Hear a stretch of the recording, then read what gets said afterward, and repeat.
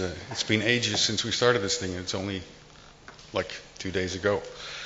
Um, so this is um, a session that, that will refer back, I guess, to many of the other sessions. This one is on improvisation, playing by ear, and um, we've talked about uh, intuition, we've talked about complexity, we've talked, and the, the discussion yesterday about complexity did, in a way, end in, uh, well, how do we deal with this stuff? And of course, that was a nice bridge to, to, to, telling people yesterday, well, that's on the agenda for tomorrow, which is about improvisation. You know, one of the m- most important ways of dealing with situations that you can't fully grasp. Um, it's one of the reasons why, why you know, as at STEIM, I'm, I'm Dick Rijken, I'm the director of STEIM.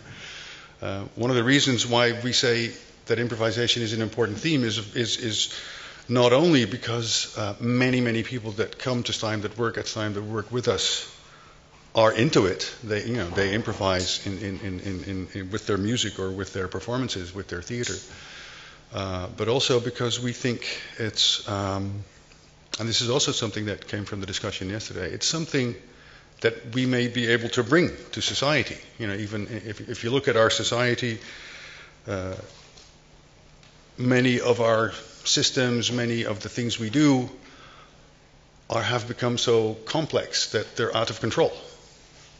We don't really know how things work anymore. You know, many of the systems that we live in are so complex that we can't even try to understand them. You know, they can't be understood. It's not that we're not smart enough. It's not that we need to think longer. No, no, no, no. Um, they cannot be understood. We have to act inside systems, inside lives that we can't fully grasp. You know, we, we, we have to give up, in a way, this whole modernist idea of wanting to be in control of everything, wanting to be able to plan everything. And if you look at, at politics, for instance, there's still a very strong urge to control things. You know, if something goes wrong, there's always somebody who says, you know, we have to make sure this does never happen again. Uh, risks are taboo and, and, and, and mistakes shall not be made, cannot be made. You know, we'll, we'll, we try to organize things so that mistakes can't be made. And um, maybe it's time for our society as well to start improvising more, to sort of take this whole idea seriously, and that improvisation isn't just this wacky thing that musicians do and other artists, uh, or, or this thing that you do once you're at your, you know, at the end of your wits but it's it's something it's a valid approach to dealing with uh, with complex issues. So that issues. So that's why we have this panel, which is a combination of people from the arts world and people from uh, other domains. Um, a while ago, I read an interesting book called The, the The Improvisation Society, by uh, the author Hans Boutellier, who had originally uh, confirmed that he would be here as a speaker, but he got involved in a, no, I don't think a major, but a minor accident with his bicycle, involving his bicycle and, and a car. So I'm very sorry to tell you that he's not here. We do, however, uh, have Ton Korver, who is a, a, a, very fierce critic of Hans's approach. So, but he will talk about the same issues. Uh, what exactly his criticism is, you know, Ton will tell you, uh, tell you himself. Um, but we'll start off the program with Ton, and uh, who's going to talk about improvisation in, in a more general sense. Um, then we'll have Marcel Cobussen and uh, Sharon Stewart, who will, will also be, be talking about the concept of improvisation and demonstrating it. Uh, you will be improvising, right? We will all. You, oh, we will all be improvising. Are you ready for this? Um, and then we'll have a break, and uh, then we'll have Rutger and Gerco uh, demoing stuff, and we'll end with David Toop. I'll introduce the, the speakers a bit more right before their talk. So uh, I hope you have a good morning. Um, Ton is my colleague actually at The Hague. Uh, my, my job at STEIM is a half time job, and the other half of my time I'm a, a lector, which is a sort of a professor at uh, the Hague University, and my, my chair is called uh, Information Technology and Society. And uh, the work I do there consists of working with a local library, an archive, and a, and, and the museum in Gouda, which is a small Dutch town. And Ton is one of my colleagues at the school. He's a lecturer in human resources management. And uh, what we're trying to do is to look at how the practice of these organizations is changing under the influence of digitization. You know, what, what is a library in, in the digital age? What's an archive in the digital age? And the way we do it is quite deep. We really work inside those organizations. We don't just make nice, nifty demos and show them to people, but we really try to work with the people that work in these organizations, which is also interesting for our school because our school is really very much a vocational institution. We have many courses that uh, are all geared towards training professionals. So we're really looking at how professional practice is changing, and pretty much all the work we do in Gouda is a, a lot of improvisation. So I guess uh, that's what, what Ton and I have in common there. And I've asked him to talk about uh, the more social aspects of, of improvisation and, and how they relate to larger issues in, in society. So, Ton, can I ask you to speak?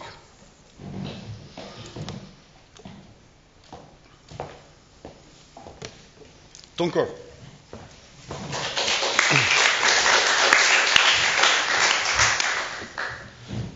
Well, that's a good welcome. Thank you. Um, when I was asked to uh, replace Hans Boutellier, the author of uh, the book called The Improvisation Society, I felt compelled to, um, well, let me say, I felt compelled to improvise. Um, one reason that I had to improvise is that by trade I'm an economist, and whatever econ- uh, economics is about, um, it's mainly about theology, I think. Um, they don't like improvisation. The usual quip is that sociologists um, explain choice away, and economics is all about choice.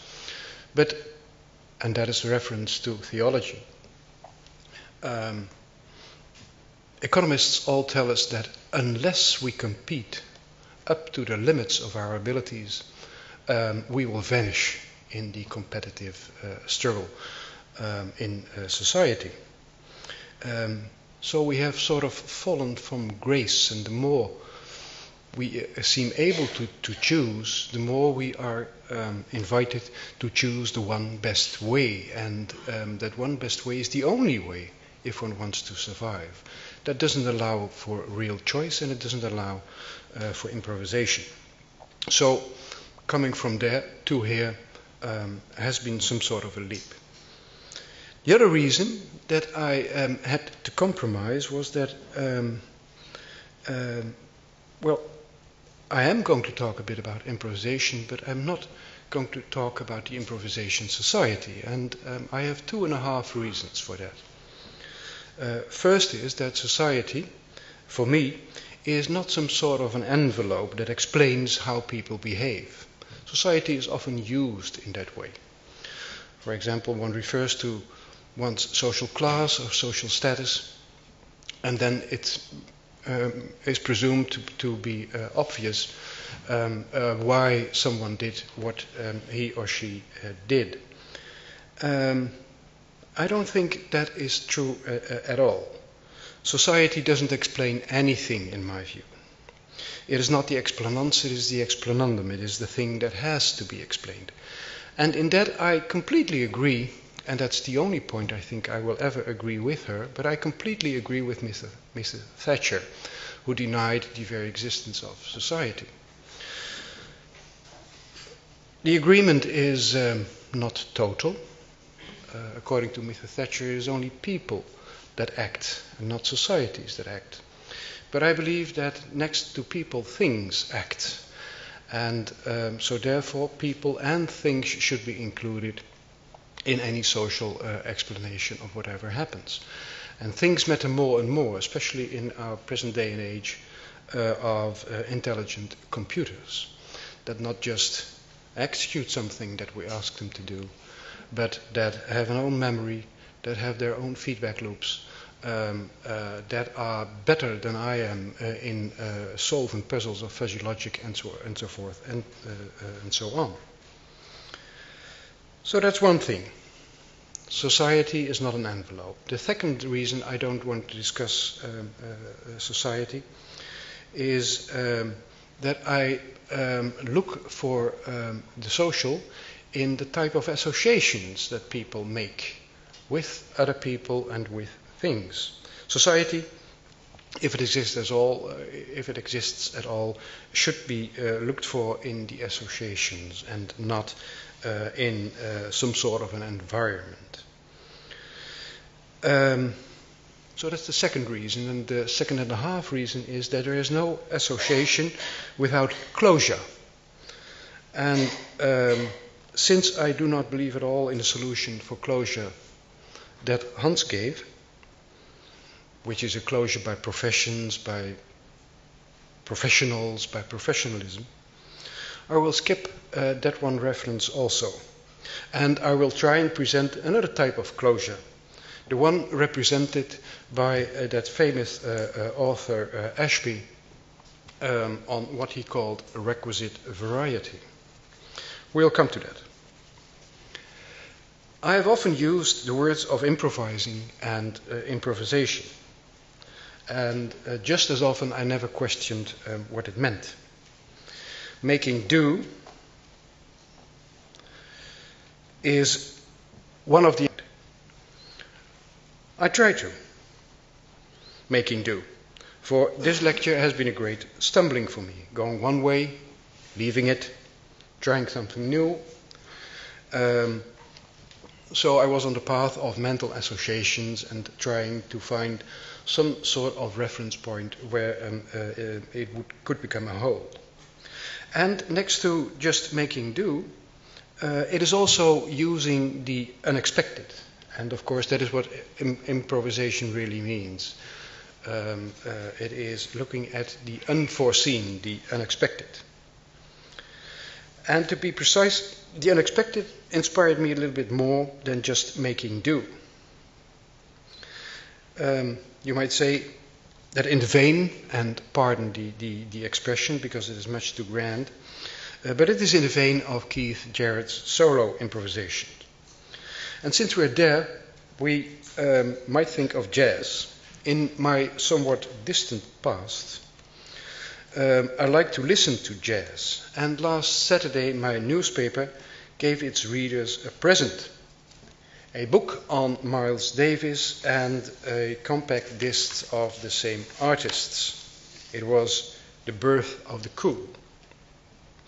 It was a pleasure listening to it after what has been for a long, uh, for a long time in my lifetime. and whenever one says jazz, one says improvisation. Even if you don't know anything about jazz, and I know very little about it, you know that jazz is about improvisation. One expects a melody and a basic harmony, and the rest is varying on one element, and even if the harmony is reversed, it respects what came before. That is what indeed improvisation is. The best of variations occur if the musicians reaches out, reach out to the public. Improvisation is an incomplete script calling for an active intervention of its users, narrowly or more broadly conceived. Now, jazz is play, and the gift accompanying the Saturday paper did more than revive my interest in jazz. By the way, the paper claimed that what I got was a re release of a Blue Note recording. That was a mistake. The original recording was on Capitol Records. Nevertheless, it rekindled my interest in plain playing, and by the same token, and somewhat stretched out, in playgrounds, in the places where people meet and can play. Playgrounds are, to stretch the jazz me- metaphor a bit further, like jam sessions. Sessions where musicians gather and play out of the blue.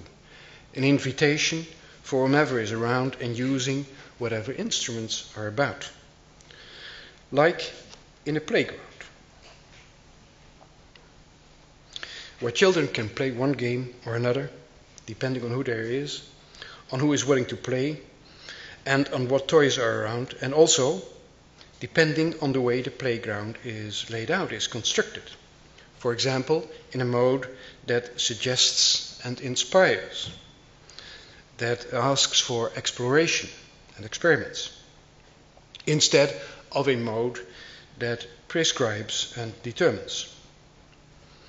Not all playgrounds um, adhere to this standard, um, uh, especially not today's playgrounds, since these are strictly separated from the street and sometimes even uh, folding back uh, into the old mold of a club. One of the most famous playgrounds of the present architect, which was Aldo van Eyck, one of the greater architects of the uh, past century, um, was in the Van Boetzelaerstraat in Amsterdam. Van, van Eyck gave us tens and tens and tens, scores of playgrounds in the period shortly after the Second World War. Uh, and he devised most of those playgrounds uh, in such a manner that the distance from the street was not far. It was easy to um, sit on a bench. Uh, it was easy to cross borders, you might, uh, you might say. These playgrounds leave a lot of improvisation. Today, if you go to the Van Boetzelaerstraat, you don't find the old playground again. There is a new playground, but it is organized in the form of a club where you have to become a member. And it is organized in such a way that the separation from the street is rather complete. You have to, to uh, uh, uh, you have to do your best to enter, and you have to be a member in order to be able to play. The old open space uh, has disappeared. Van Eyck um, devised playgrounds that uh, do not separate play and street life, but playgrounds that integrate them. We had a lot of them in the city. Hardly any of, uh, of them is, uh, is, is, is left. Street life has gone, and with it the border areas in which activities like shopping, talking, gathering together shade off into the worlds of play of children. We now don't have border areas, uh, areas anymore, we have borders. We separate instead of that we uh, allow uh, different activities, all belonging to a street, to a neighborhood, to a city, um, to fuse. We want them to separate uh, these days. As Van Eyck had it, and it was on the, on, on the former slide, um, whatever space and time mean, place and occasion mean more. For, he said, space in the image of man is place, and time in the image of man is occasion. And that, I believe, sums up the case for improvisation. To be a little more precise, improvising, in my perspective, is all about contingency. Dick mentioned complexity. I will not dwell on complexity. I will, um, uh, I'd rather dwell on, on uh, contingency, and these are, of course, twin concepts. Contingency is, in, uh, is indeed coordinating uh, along the way, but in a specific sense. It is not at all like a plan B, like here. I'm drawing a contingency plan just in case. How would you like to, to drive? How would you like to drive the getaway car? That is not a contingency. That is a scenario for if something happens that you that might happen and that you can uh, uh, create decisions for in order to be able to act if it occurs, uh, even if you don't want it to uh, occur. But contingencies are not uh, uh, scenarios. First, contingency means that whatever there is could be different, could be otherwise. In this sense, it is a farewell to the old uh, idea of both engineers and economists of the one best way. And second, contingency is the very presence of the otherwise in the actual. You find that represented in the social meaning of art. For art is, as it once was called, the emancipation of contingency. It is the representation of the possible as actual and in the actual. An actual selection does not suppress other selections, it merely distances, distances, distances them and or postpones, postpones them, like in the playgrounds of Van Eyck, where some possibilities were presented for playing, but it was not uh, um, uh, suppressing other modes of use by people in the street, going to shops, crossing uh, the playground, uh, taking a seat on a bench, and so on and so forth.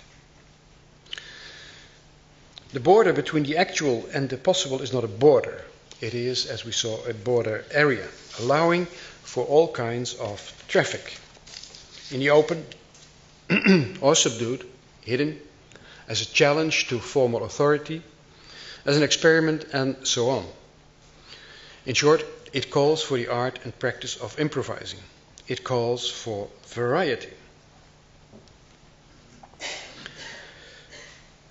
Variety is the spice of life. It creates always more possibilities than we can handle, than we can cope with. So it needs some form of closure. And closure uh, is not self evident. What variety? Well, like this. We have an incomplete picture, and we can play with it and try to mold it into a certain shape. And people that look at such a picture, they try to um, complete the incomplete. And in doing so, if they do it together, they share options. And after the sharing of options, they um, go on and select the relevant varieties to continue with. It is like in design, where you often start with many people from many disciplines. You start, you might say, in a multidisciplinary mode. That allows you to share. Share insights, share ideas, share concepts, share whatever. And only after the sharing, the people in design can come together again and try to select what is worthwhile um, going on with. Such sharing you might call the interdisciplinary. So, from the multidisciplinary to the interdisciplinary uh, progress in, in, design. And if such uh, a continuance is, is chosen, then indeed the end result might be, uh, might be a, a, new design, and um, then the whole circle can start again.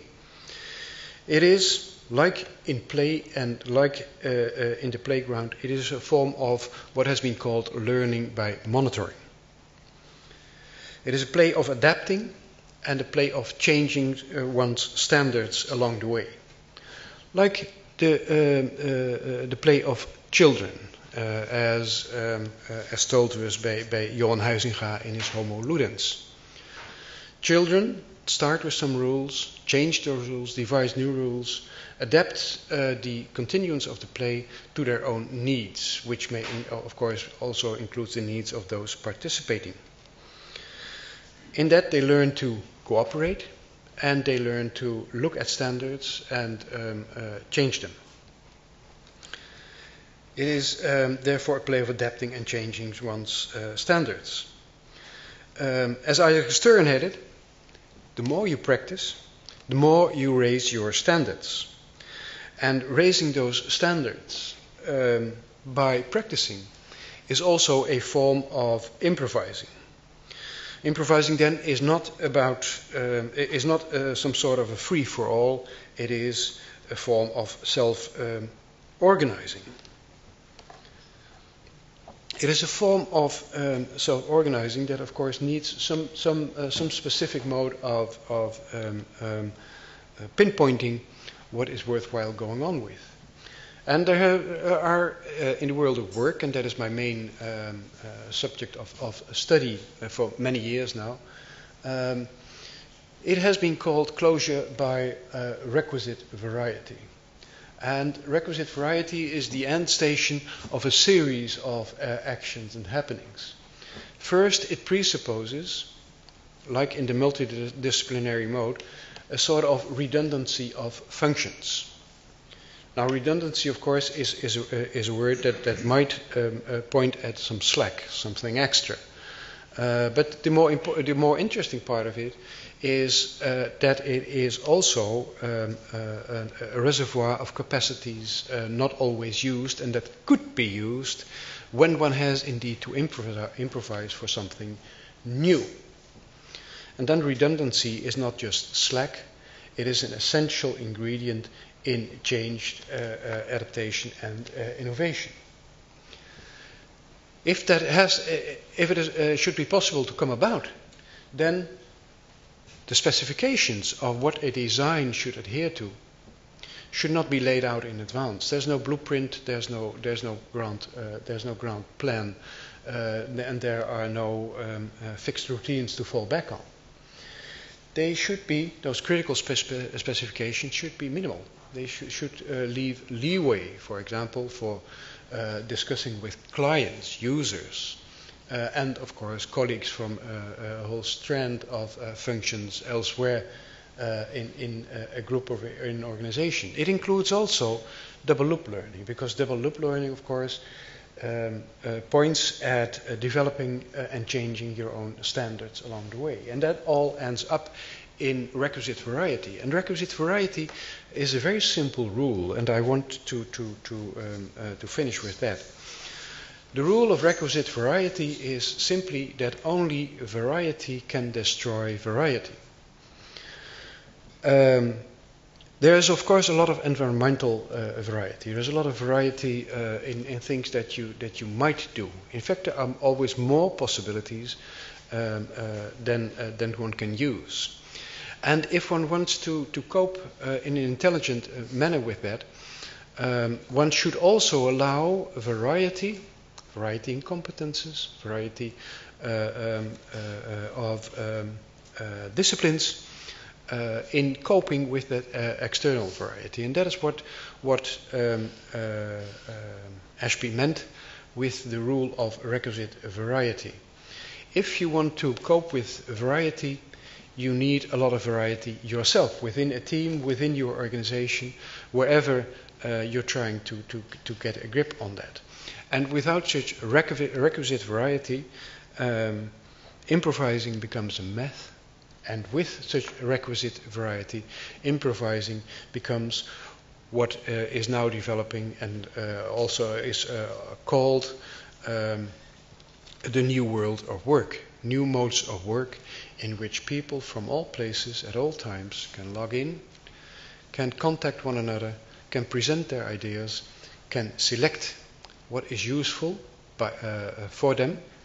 Uh, the selection is also made by them and then try to develop new, new things. For organizations, that is hard to swallow because organizations, of course, never started with sharing.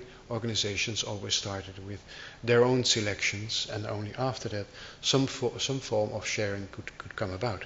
That order uh, is reversed, and that uh, reversal, well, one might call that um, improvisation. Thank you very much.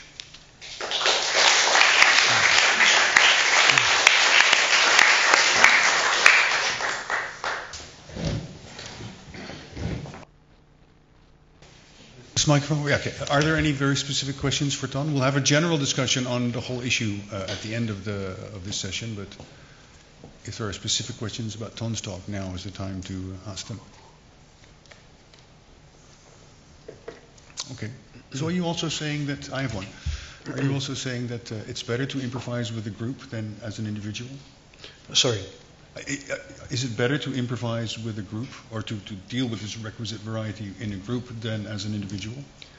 Um, as far as I know, and taking the Gouda experiment as an instance, it is better uh, to improvise, improvise, with a group. Okay, yeah. um, uh, simply because um, uh, um uh, we all have our own perspectives we all use our scissors to chip out one part of the complexity that we think we can we can uh, we can cope with.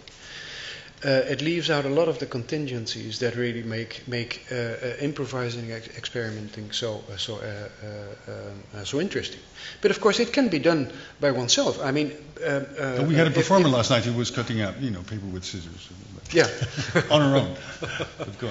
Well, I, I, I, mean, if I take if I take Keith Jarrett as an instance, when Jarrett is playing, uh, what he says is, "I'm always improving upon my standards.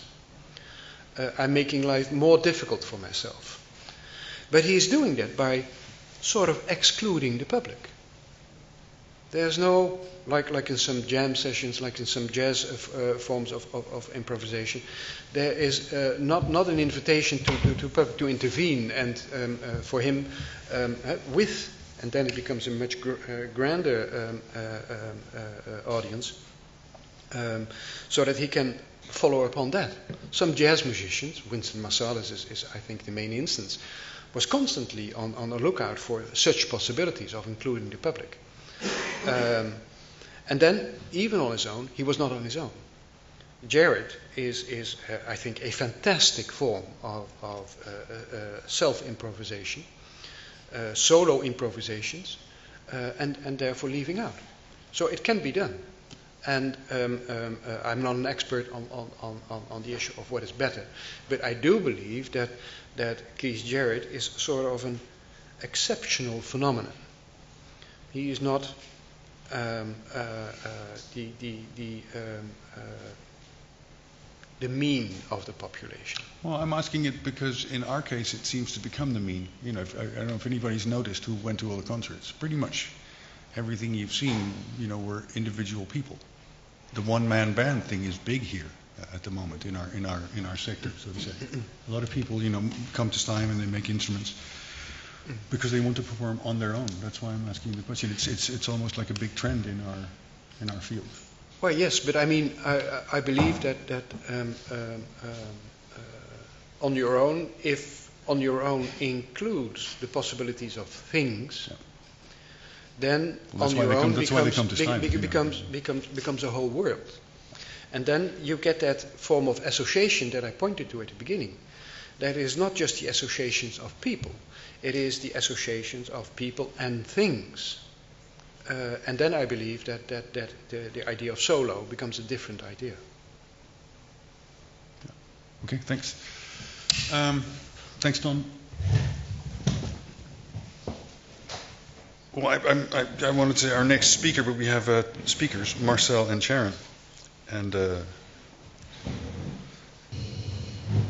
I said to Marcel, "You're from from Leiden University, right?" And he said, "Well, yes, Leiden and what Minnesota, Ghent, and you know." Oh, you're not. What was the other? Oh, Malmö. Malmö. Okay. Uh,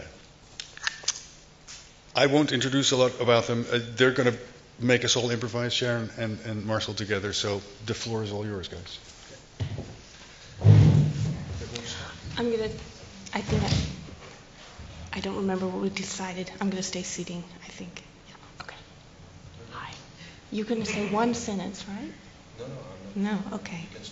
Thank you. So, um, out of curiosity, kind of break the ice. How many of you have um, been active or have come to other events the last two days?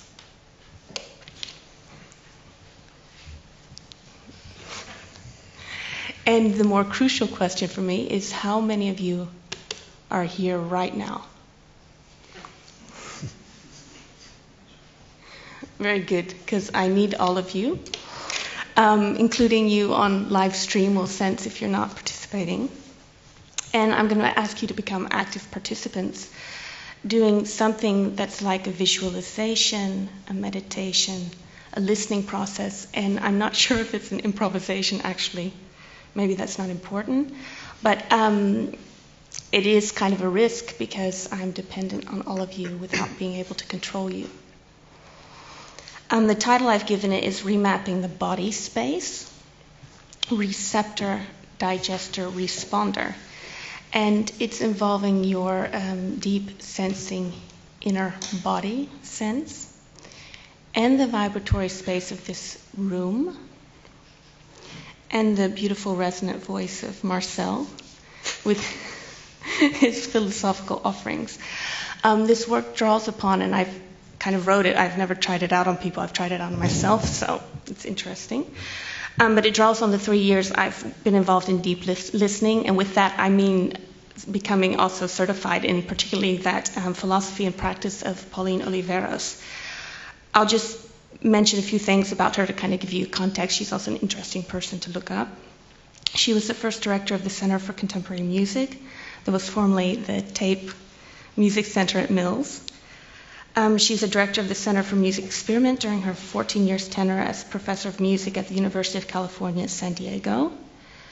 She now serves as distinguished research professor of music at Rensselaer Polytechnic Institute and composer in residence at Mills College. She often improvises on her accordion.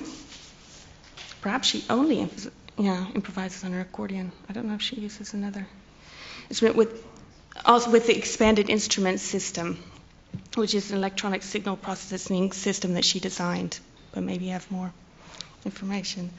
Um, she's the author of five books Sounding the Margins, Collected Writings, 1992 to 2009, Initiation Dream, Software for People, The Roots of the Moment, and Deep Listening, a Composer's Sound Practice. Um, so here we go. I mean, you can take off your shoes if you like. You don't have to, but it will augment the experience. And I'm sorry, we're kind of in this kind of stage setting, which is horrible for this. Um, yeah, don't take off your shoes if you don't really trust uh, experience.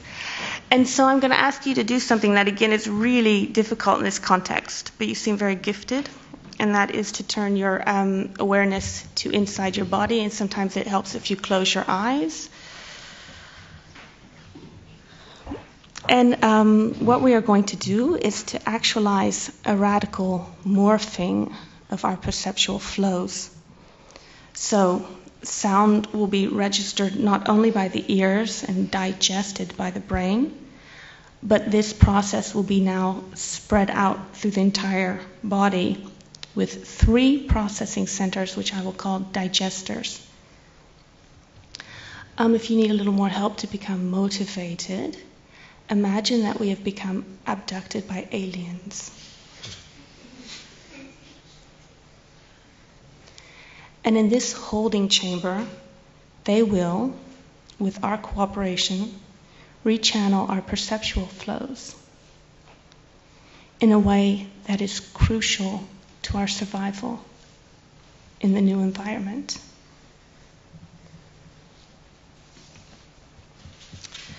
So, this is going to involve our bodies. I'm sorry. We need to loosen the holding patterns of our bodies for this morphing to take place. So, if you can, please sit more actively. That means not leaning back, more towards the front of your seat. You can feel your sit bones, the ischial tuberosities projecting the bottom of the pelvic girdle. And you can also move a little bit. We're trying to open up some space in the body so you can feel how it is to tilt forwards and backwards. We've all got our eyes shut, so it doesn't matter what you do. And you can deepen your breathing, and you can feel maybe more flow entering the body and more expansion.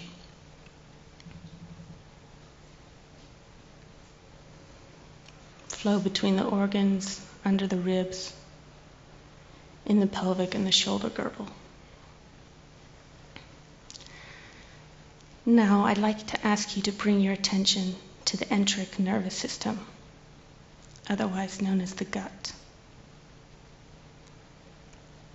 Become sensitized to the electrical pulses, the intelligence that is there, the signals and activity.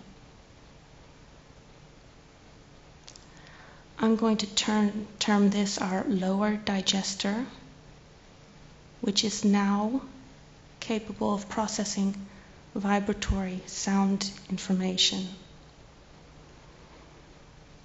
When this digester is activated, it should light up.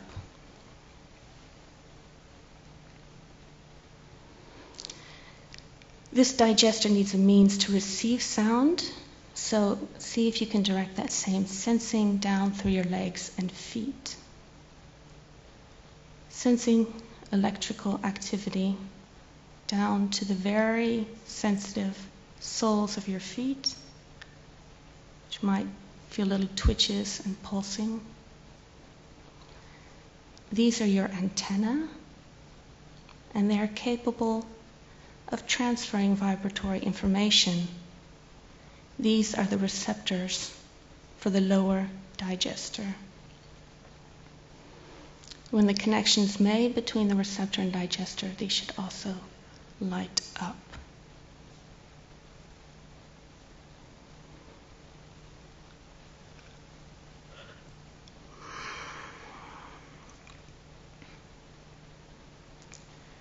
Now turn your attention to the neural activity of your heart.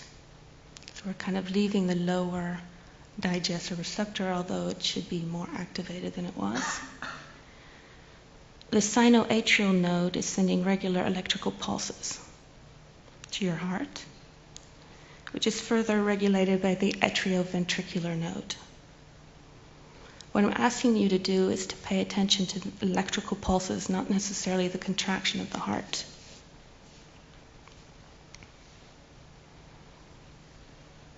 Pay attention to the intelligence that is there, the signals, the activity.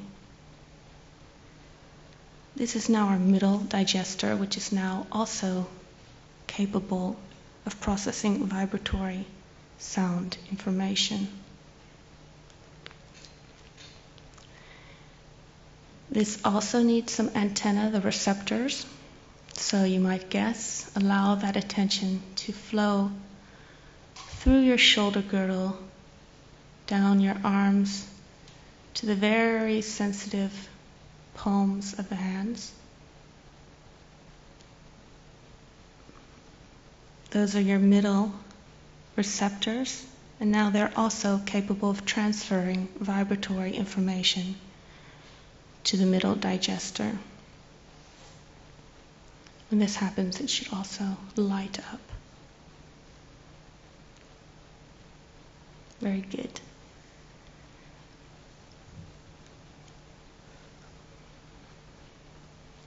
And now we're moving up to the um, upper digester. That would be the brain, the central nervous system, and the spinal cord cradled in the always flowing cerebrospinal fluid. See if you can actually sense the electrical pulses of your brain, not necessarily the thoughts, but the sensations of the brain.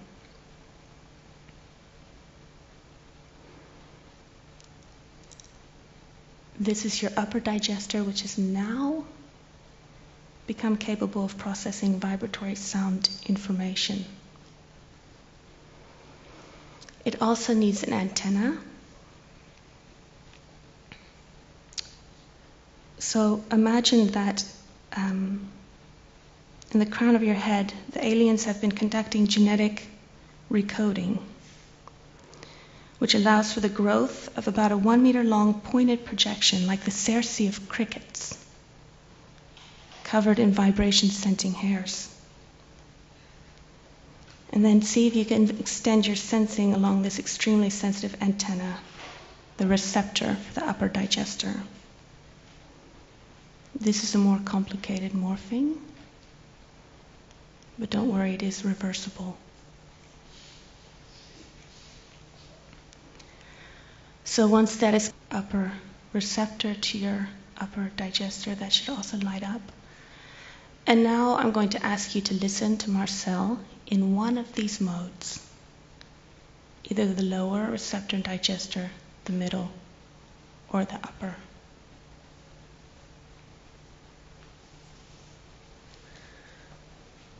My uh, verbal interruption of this exercise is called Some Completely Needless Thoughts on Improvisation, Listening, and Networks and it will consist of three parts. First part, some thoughts on the significance of improvisation. Second part, some thoughts on listening. The third part, some thoughts on improvisation and the complexity of networks. Part one, some thoughts on the significance of improvisation. Why is improvisation important? Why should it, for instance, be taught, if that is possible at all? I will very briefly discuss three interconnected ideas. The first one improvisation is the development of something new, At the end of Hannah Arendt's text entitled Labor, Work and Action from her book De Vita Activa, she writes, and I quote, without action, without a capacity to start something new, the life of man would be doomed. Action, with all its uncertainties, is like an ever present reminder that men, though they must die, are not born in order to die, but in order to begin something new. With the creation of man, the principle of beginning came into the world. End quote. Arendt's reflection is not about improvisation in music. But each improviser, at least in the Western world, recognizes the necessity to produce something new, to begin again and again. Improvisation is beginning, is an endless starting, an infinite becoming, trying, groping. What this requires is an active forgetfulness. Improvisers need to forget in order to remember the new obscured by the old. In other words, improvisation is not so much about creating something absolutely new, rather, it is the ability to find new ways of inhabiting old forms. Improvisation as a process of reappropriation. The second idea improvisation as the acceptance of insecurity. Improvisation means to expose oneself. The possibility of failure is an intrinsic element of all improvised music. In the book Improv Wisdom, Don't Prepare, Just Show Up, Patricia Ryan Madson writes that the systems we put in place to keep us secure are often keeping us from our more creative selves. Saying yes to the unknown and unforeseen will open up new worlds. Not knowing is perhaps even a precondition for any creative process. Improvising means affirming fear and saying yes to insecurity. Improviser and co founder of the AMM ensemble, Eddie Prevost, states that risk and doubt are two crucial tools for the improvising musicians. Music is perhaps a perfect field in which to experiment with these qualities. Third idea improvisation as a space for music and social interaction. In Saying Something, Harvard professor Ingrid Monson writes that through the simultaneous interaction of musical sounds, people, and their musical and cultural histories, a moment of community can be established. There are not only musical instruments, pitches, or rhythms interacting, but also humans. During a performance, an interactive construction of music and the development of emotional bonds among musicians occur simultaneously. Monson specifies emotional bonds as risk, vulnerability, and trust. In other words, in improvisation, the social and the musical fuse. According to Monson, talking interaction on stage Listening is a precondition for an adequate and respectful musical response. I could add here that being respectful could also take place in the process of non listening. Keith Rowe describes his mindset during the recording of Duos for Doris, a CD he made with John Tilbury. I quote I attempted not to actively listen to John's piano as my hand descended towards the guitar not necessarily listening to what he is playing, not reacting to his playing, but being affected by it. The act of non listening is very important, preferring juxtaposition to confabulation.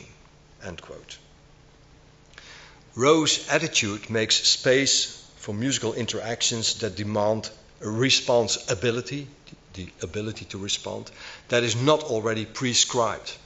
A praxis of risk for which there can be no rules, no codes, no principles, no guarantees. non listening as a research into the possibilities to interact on another level than the conscious, accepted, articulated, crystallized ones. Perhaps that is the difference between reacting and being affected, to which Rowe refers. So, why is improvisation important? Why should it be taught, if that is possible at all? These three short ideas have shown that through musical improvisation, man encounters difference, the other, the inability to control everything. And that might be the main contribution of musical improvisation to the extra musical world.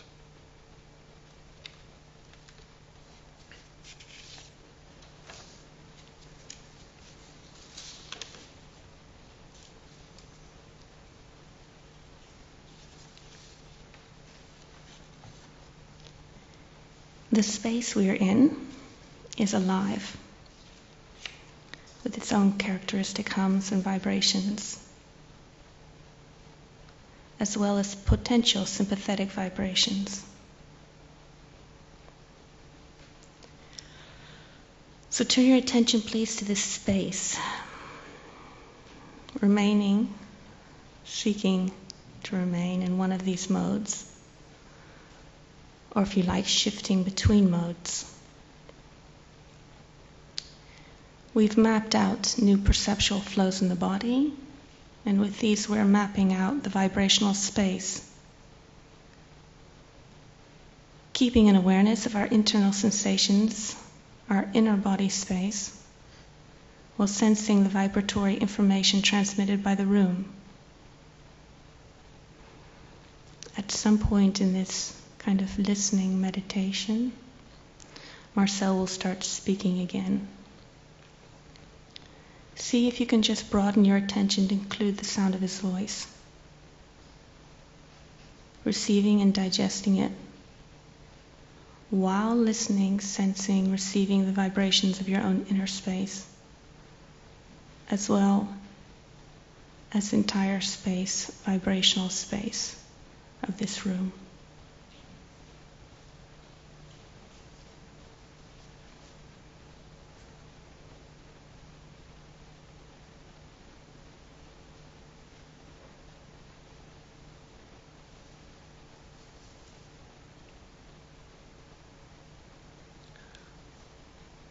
Part 2 Some thoughts on listening.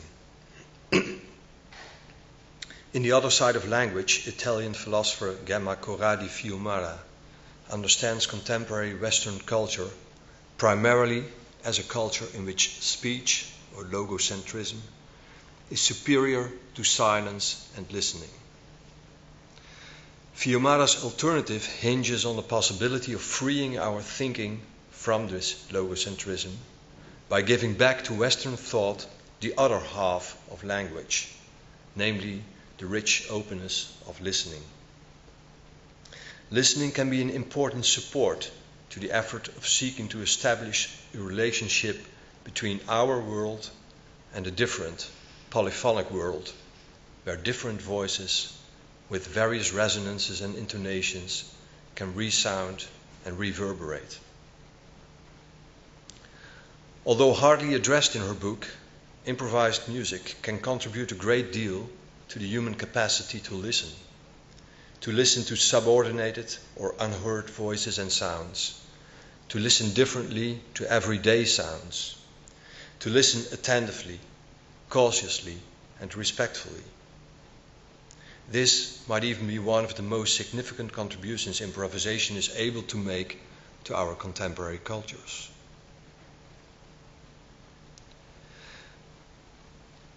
According to Ingrid Monson, once more, the main thing about interaction during an improvisation is the ability to respond and to anticipate to changing musical events. She calls that the on- ongoing process of decision making. That's why it is important to learn to listen. Monson calls this sensitivity toward other musicians. Musicians who miss opportunities to, re- to respond are often said to be not listening. Listening means being able to respond to musical opportunities or to correct mistakes.